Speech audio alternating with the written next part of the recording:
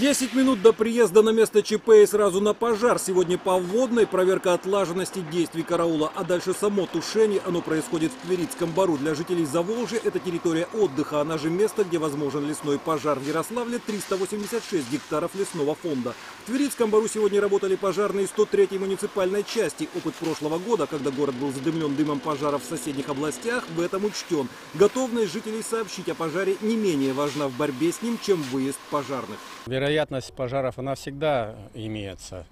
Поэтому исключать их э, нельзя. Сложная ситуация, когда э, значит, еще уже снег сошел, но трава как раз сухая. И э, люди наши бросают окурки значит, или просто выжигают траву. Для этих ЧП эпицентр не только апрель, лето тоже, смотря какой будет жара. Погода предсказывается с точностью, но вносит свои коррективы природа и география лесных массивов. Эта местность близкая к Яковлевскому бору. Здесь пожарный гидрант, он же по внешнему виду естественный водоем. Каждый из сотен их в Ярославле нанесен на карту подъезда к вероятному пожару. Сюда может спокойно подойти пожарная машина.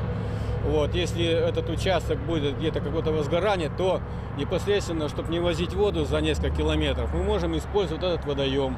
Для оперативности и согласованности своих мер с жителями пожарные подготовили всю документацию. Рекомендация – не посещать леса в жару, когда они могут вспыхнуть от одной спички.